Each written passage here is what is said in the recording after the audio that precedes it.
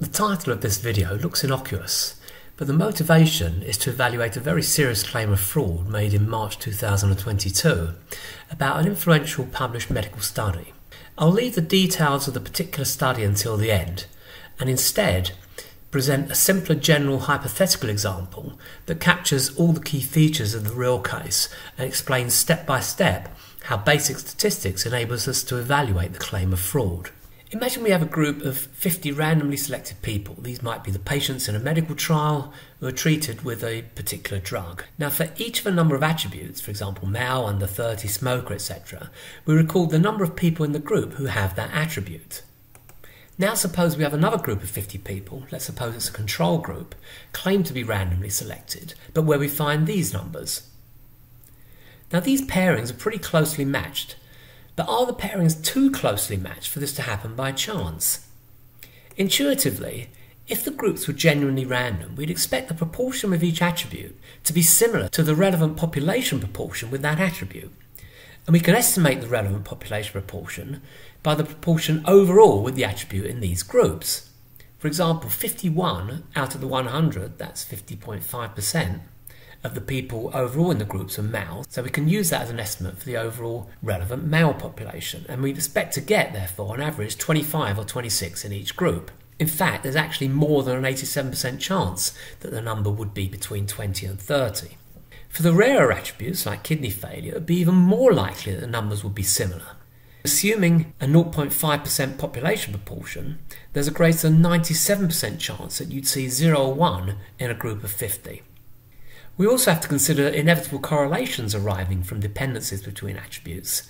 For example, people with cancer are almost certain to have had chemotherapy. So if you've got a similar pairing here, you'd see the same similar pairing here. The error in assuming that the pairings are too similar arises from the assumption that for each attribute, the number of people with the attribute is genuinely random. If this were the case, then indeed things would be different and our conclusions would change. So let's compare the situations. Imagine, for example, if each of the two groups of n people were given a number of tokens which could be any number, all equally likely, between 0 and n. Then if n is equal to 10, suppose 3 people in group 1 get a token and 6 people in group 2 get a token. Then we write this as the pairing 3 6.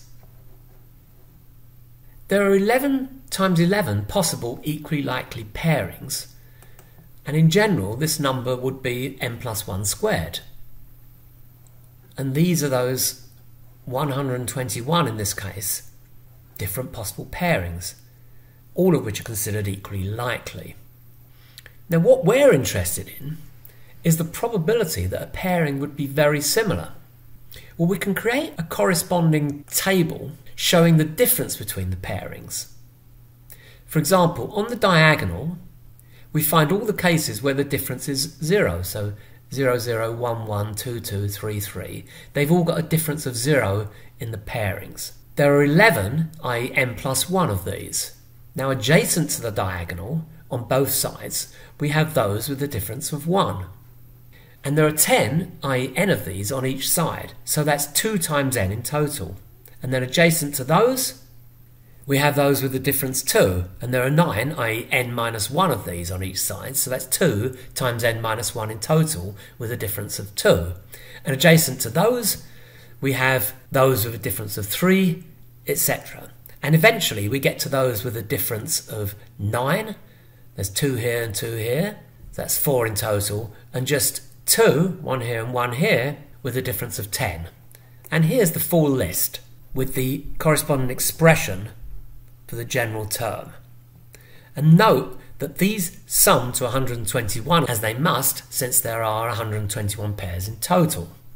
So in general, for any number r between 0 and n, the number of pairs with difference r is this formula, 2 times n minus r plus 1. That means if any number between 1 and 10 is equally likely, i.e. each of the pairings is equally likely, then the probability of getting a pair with a difference r is this formula. 2 times n minus r plus 1, that's the number of pairings with a difference of r, divided by the number of pairings, which is 121, or n plus 1 squared. So now, let's consider this question. How likely is it to observe a pairing whose difference is at most 1?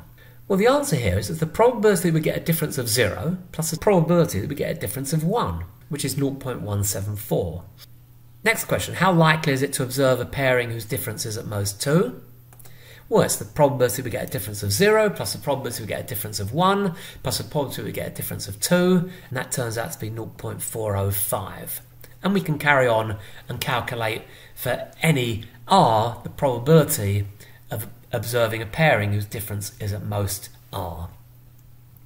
Now, obviously, we can generalize this to any number. So, suppose n is equal to 50, then we have a table of 51 squared pairings. That's 2,601.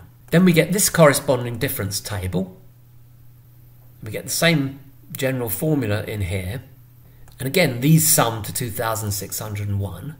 And so again, we can use the general formula to calculate, for example, how likely it is, to observe a pairing whose difference is at most 1. In this case, well, we've got n equal to 50. Well, it's much lower now, and that's 0.058. So it's just over 6%.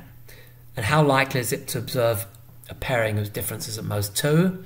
Well, again, using that same formula, that's just under 10%. So going back to our set of attributes for groups of 50 people, we can now calculate the probability of observing pairings with these particular differences, or smaller, under the different assumptions. Now, under the original assumption, where the proportion with the attribute is assumed to be the population rate, we can compute these probabilities using the binomial theorem. You can look at my video on binomial theorem to find out more about that. And these are the probabilities. Under the second assumption, that the number with each attribute is a random number between 0 and 50, with each equally likely, we get these probabilities based on the formula I just explained from first principles. Now I've covered those probabilities below 15%, where the darker the colour, the less likely it would be to have seen this particular pairing by chance. So under the first assumption, there's nothing really suspicious in the similarities of the pairings. I mean, the probability of observing a difference as small or lower than this is actually quite high in most cases. Only one attribute, that's the smoker, has a pairing where the probability of observing this difference or less is below 23%, and even this is almost 10%. But under assumption 2, there's a suspiciously low probability of observing as small a difference or lower for most of the pairings. Hence, under assumption two, it is reasonable to suspect that something's going on that isn't purely random here. But the problem is that assumption two is not a reasonable assumption to make for these kinds of personal attributes. But there's another assumption we can make about the numbers with a given attribute that might be even more realistic given the circumstances of a limited number of trial patients. We saw that 4 out of the 50 people in group 1 had COPD, and three out of the 50 in group 2 had COPD. So we know there were seven in total with that attribute. So we can ask the following question. Given that there were seven people in total with the attribute, what's the probability exactly four would be found in group 1 and three would be found in group 2? That's this formula,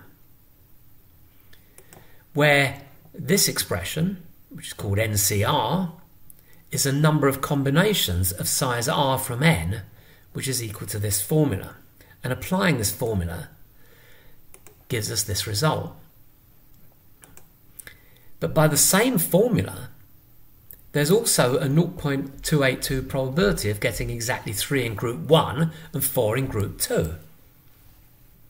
So the probability of getting a difference of 1 is the sum of those two probabilities, which is 0.564. Now, there's no other way to get a difference of 1, as the only other possible pairings are 5, 2, 2, 5, 6, 1, 1, 6, 7, 0, and 0, 7. So as no possible pairing has a difference of 0, the probability of getting the difference or lower than what was observed, namely 1, is just 0.564. And we can use the following general formula for the probability of getting exactly x out of 50 in group 1 and y out of 50 in group 2, given a total of x plus y. That's called the hypergeometric distribution. Now we can use that formula to calculate the probability of getting an observed difference or less in the pairings by chance under the assumption that we've just been making. That the numbers with the attribute in each group can be any numbers which sum to the total number observed overall with the attribute. Now note how these probabilities are even higher than under assumption 1 and completely different to the all numbers are equally likely assumption 2 that would erroneously lead to suspicion of fraud. Now, why is this important? Because in March 2022, a claim was made that there must have been fraud in a 2017 study by Marik et al. of vitamin C for treating sepsis patients. In this study, there were 47 patients in each of the treatment and control groups, and these were the pairings for the relevant set of attributes. The claim was that these pairings were so similarly matched that it couldn't have happened by chance, it must have been fraud. But the basis for this claim used a statistic called the p value from Fisher exact test, which is based on the hypergeometric assumption. And that p value statistic is defined as the probability of observing at least as big a difference as the one actually observed. And the claim was that these should average 0.5 by chance. And so the fact that there are many values of 1 and well above 0.5 is an indication of fraud, that there must have been a deliberate attempt to make the groups similar.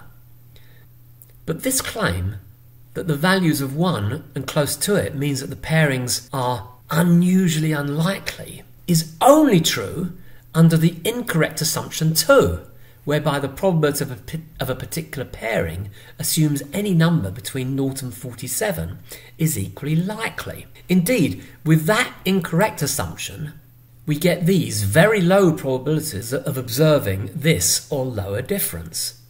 So under that assumption too, these pairings would genuinely be suspicious. It's highly unlikely you would have got all of those very low values by chance.